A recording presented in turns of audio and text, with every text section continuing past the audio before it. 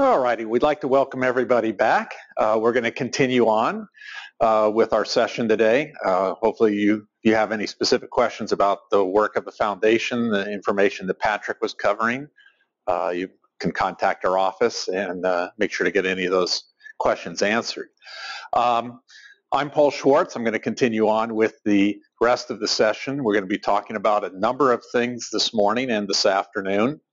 Uh, the agenda for the sessions that we're going to be covering next, uh, starting with definitions and terminology, uh, as well as rules and regulations.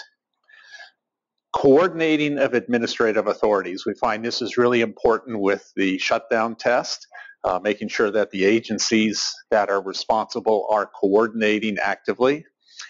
And then we actually get into the shutdown test protocols, the various tests from preparation for the tests, to the test selection, uh, talking about some of the pros and cons of those, and then also what type of report might be generated at the end of this. So these are some of the subjects that we'll be covering. And as a reminder, we will be taking our, uh, every hour so taking our break. Uh, so if you have questions during the session, make sure the folks that are in line to send that those questions in and we'll try to address those as we move along. Um, definitions and terminology. We find this has really been an issue that has confused people as we've talked about recycled water, especially at sessions all over the country, because we find that the terminology is quite different. And the terminology that we find being used can vary tremendously. Even though we may be talking about the very same issues, we find quite frequently that the terminology can sound different.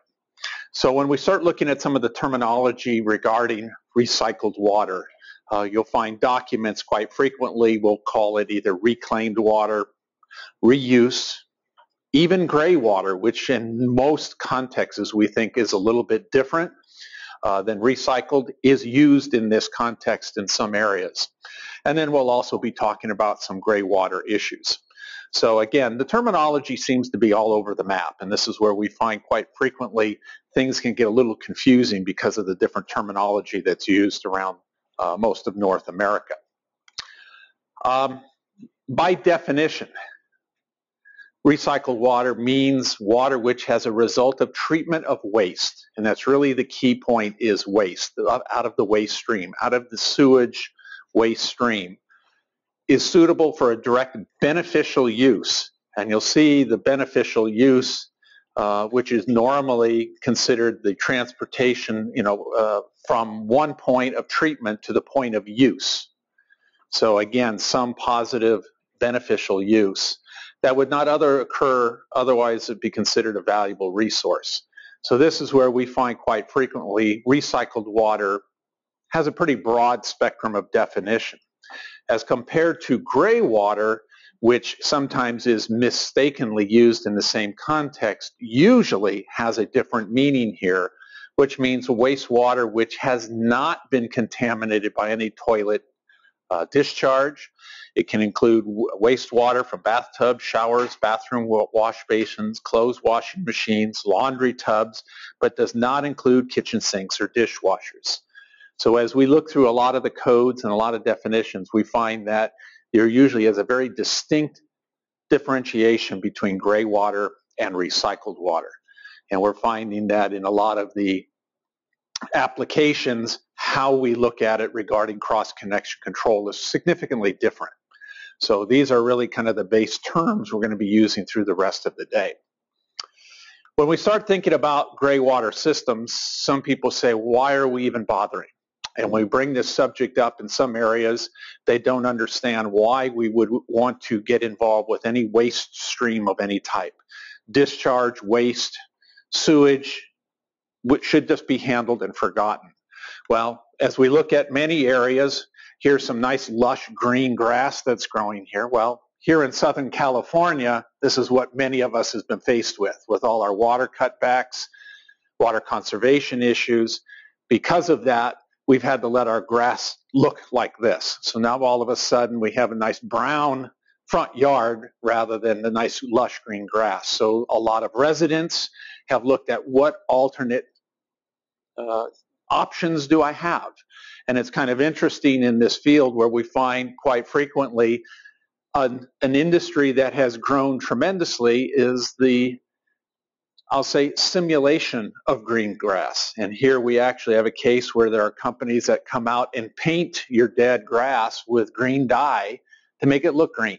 So even though we can't water it, we can't produce real grass, we can make it at least look green and look nice. A lot of these industries started from the uh, real estate market where they were trying to make houses look better on, you know, open houses, et cetera, painting the grass, making them look very lush but it has really transpired into businesses now where because of the water cutbacks, uh, they're painting dirt and dead grass to make it look better. So this is where a lot of the residential applications say, what other options do I have? And this is where gray water quite frequently is an option that is fairly easy, especially on a residential level.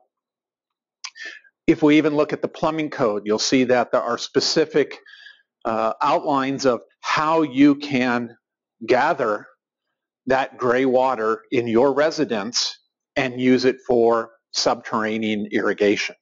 So when we were looking at the plumbing code a little bit later, you'll see there's actually specific guidance on how you do that. We find it also interesting that in a lot of areas they will have brochures, and here are just some samples of brochures from some different locations showing in very simplistic terms what is meant by the capturing of gray water. To the general homeowner, the resident, they may not always understand. They just know what goes down the drain, regardless of where it comes from. Can I reuse that? So some of these documents that you may find uh, from a variety of areas around the United States graphically show a little bit more detail about what is meant by gray water. You know, it is not coming from the toilet. It's not coming from sewer contaminated waste, but perhaps from washing machines, showers, uh, and that's where some of these help to the homeowner understand more thoroughly where gray water is coming from and how it can be used. And this is where a lot of the areas that have been cut back in their water usages, this becomes a very viable option. Uh, again, very graphic, trying to show, again, the homeowner what they should and shouldn't do. Here was a case of another little brochure, and they tried to make it as graphic, showing where uh, on some of these to the far right, where some of the applications where you're grabbing water from probably one of the larger water using fixtures in the home is the clothes washing machine, where it may be using 5 and 10, 15, 20 gallons of water during a cycle, which normally would just go down the drain. So capturing that waste stream and using it for irrigation is a very viable option.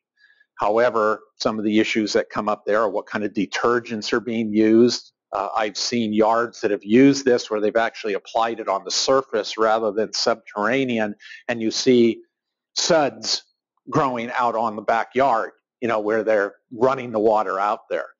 Uh, you'll see that in this illustration, they also show kind of a yellow area where kind of a marginal area, and then definitely red. The red is around the toilet. So that is try, again, try to visually show the homeowner what is and isn't gray water. So this is where we find, again, the, the public's perception of gray water is kind of an unknown. Uh, they hear about it. I know even my own neighbors I've talked to, they don't truly understand what that means. And as you tell them, some think, of, oh, that's not too difficult to do some minor plumbing modifications. Well, anytime we talk about plumbing modifications, I think those of us in cross-connection control get a little worried because do the people really understand what they're doing? You know, they cut into a pipe, they cut into a sewer line and start hooking up potable water line to this. I mean, we start worrying about potential cross connections. So gray water systems, as valuable as they are, we find quite frequently people just don't understand what, op- what things could go wrong and how we could actually create potential cross connections.